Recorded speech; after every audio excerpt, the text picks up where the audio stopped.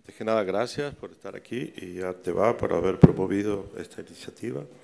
Eh, en, en, el, en, la idea de eh, mi proyecto galerístico está eh, el eh, adjetivo este, mi, y este mi de alguna manera tiene que ver con mi vida. ¿no?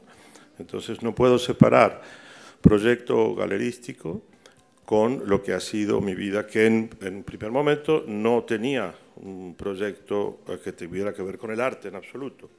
Esto empieza de una manera casi casual, eh, viviendo, yo me fui muy joven de mi país, eh, me fui a, a estudiar a Roma, eh, quería estudiar cine, pero todo resultó era muy improvisado y muy ilusorio, porque yo no tenía medios para entrar a la escuela de cine, rápidamente me di cuenta de eso, y así eh, empecé a, vivir, eh, y, y, perdón por referirme a cosas personales, no es por ningún afán narcisista, pero creo que viene a cuento. Y ahí eh, empecé a trabajar eh, en pequeñas cosas para ganarme la vida y rápidamente eh, me...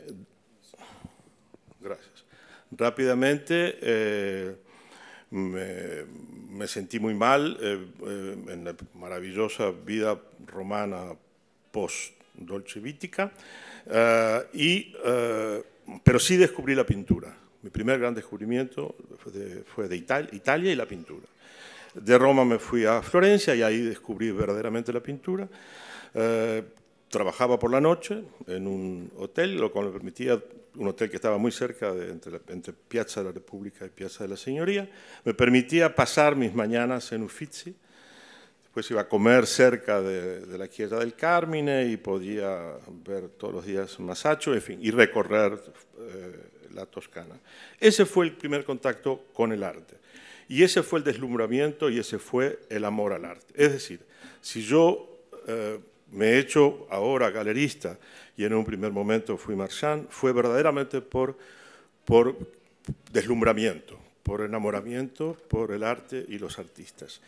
Y yo creo que eso, de alguna manera, un buen marchand, un buen galerista, y me gustaría hacer la diferencia entre marchand y galerista, no es lo mismo. Muchas veces la gente lo confunde.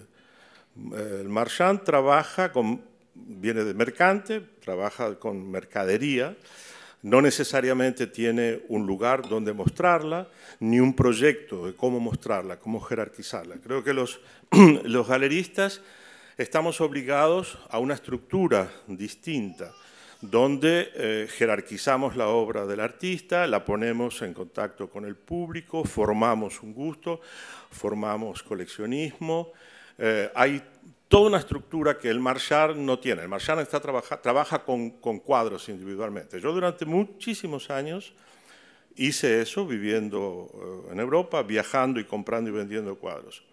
Eh, cuando mi vida cambia y te, paso a tener una vida más estable, una vida familiar, una estructura familiar que me obligaba a hacer una vida más sedentaria, eso vino naturalmente con la necesidad de abrir una galería. Desde el principio yo tuve muy claro que abrir una galería implicaba una responsabilidad muy grande, en primer término, hacia los artistas, hacia mis artistas.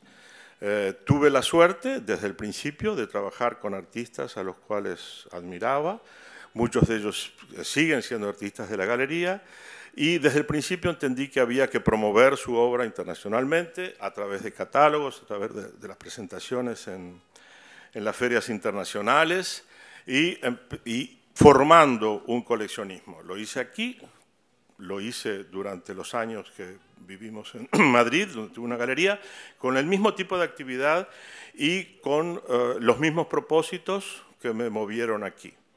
Uh, de modo que me parece...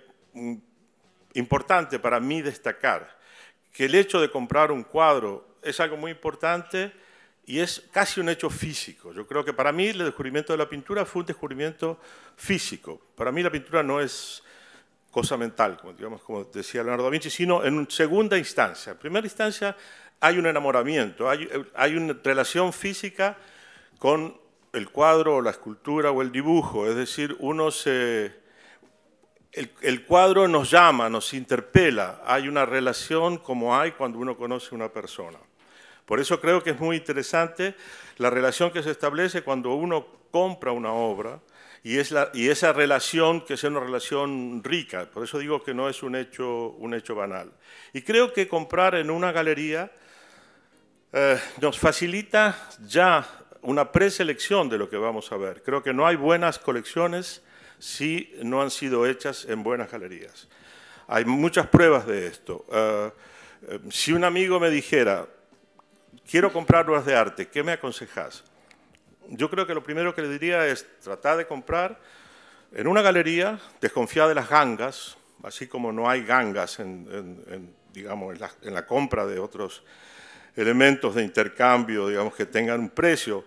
Las, en las liquidaciones generalmente lo que se vende es lo que ha quedado, los restos. Las cosas buenas se han vendido antes y a su precio. Eh, en la pintura, como en otras cosas, también lo barato sale caro, lo cual no quiere decir que haya que comprar caro. Eh, quiere decir que hay que saber comprar.